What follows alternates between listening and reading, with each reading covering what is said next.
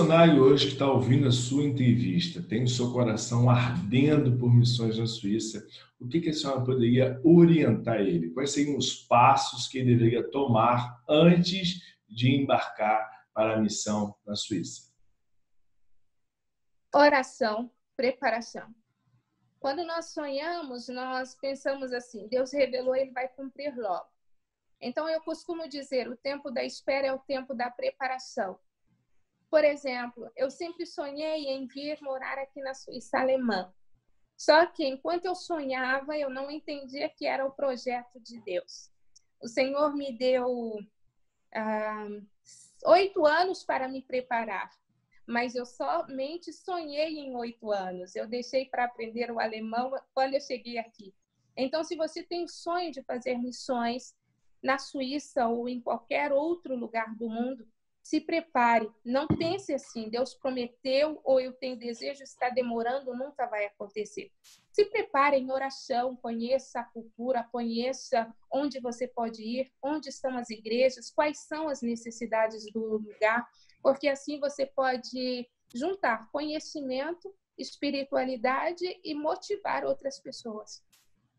Na verdade, a missão começa desde quando ela nos foi entregue, né? Mesmo ainda no Brasil, em oração, em nossas casas, a nossa missão já iniciou. Então, nós já temos aí que orar, nos capacitar, nos preparar para depois chegarmos no campo missionário. A chegada no campo missionário é um segundo, ou quarto, ou quinto passo em que a gente vai tomar né? O primeiro passo é a capacitação, é a oração. Então, ali já começou a sua missão. Então, nós não precisamos ter ansiedade para chegar no campo missionário.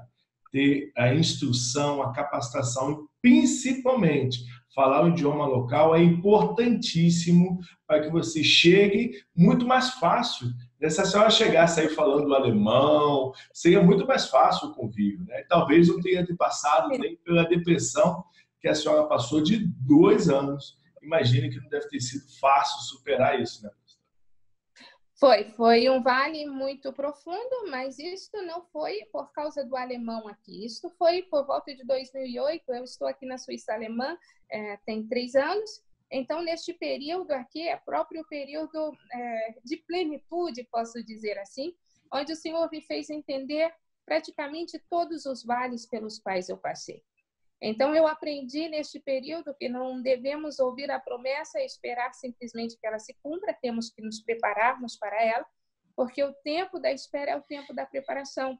E nós não podemos excluir do projeto aquele que o escreveu para as nossas vidas.